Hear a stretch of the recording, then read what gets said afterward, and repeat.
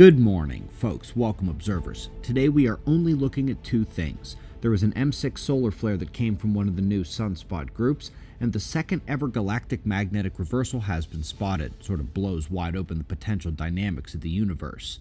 This is the last 24 hours on our star, and first we notice the dark coronal holes leading ahead of the sunspots coming in over the limb.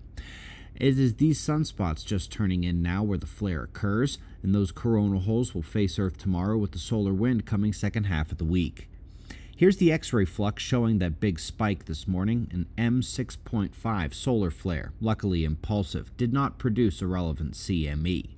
But we have been saying to watch for this kind of uptick the last couple days. When we switch to the 94 angstrom view, the bright flash of the flare is visible over at the limb on the left side.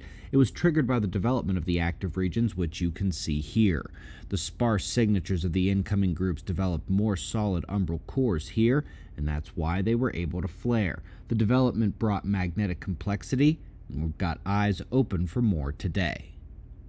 There's only one piece of science news to hit today, however, and we're looking at the electromagnetic activity of a galactic core.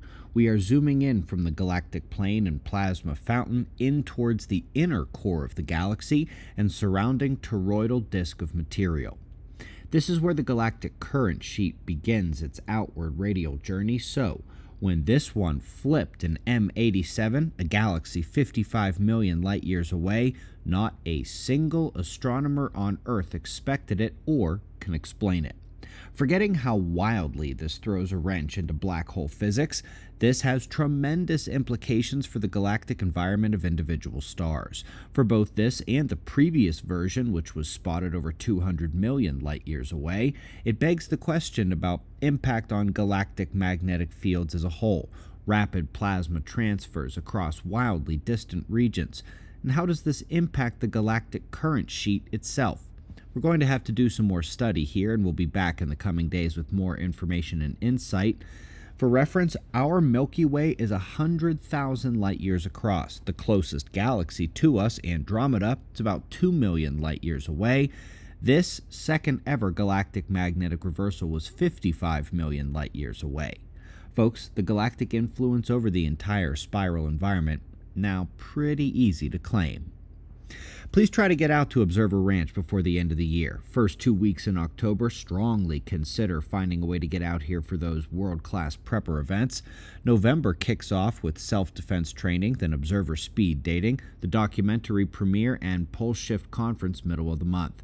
Remember, folks, Next year, the events are going to be much bigger, multiple days, and are going to cost a little more.